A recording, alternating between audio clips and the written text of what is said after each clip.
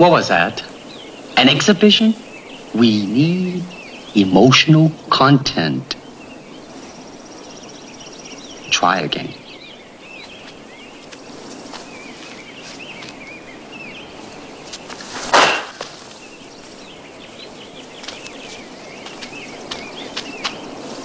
I said emotional content, not anger.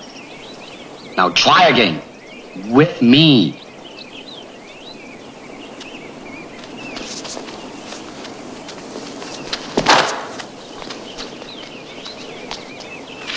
That's it.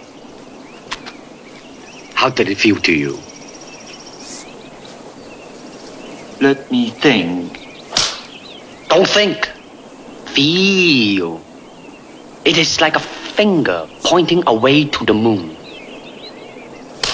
Don't concentrate on the finger or you will miss all that heavenly glory. Do you understand?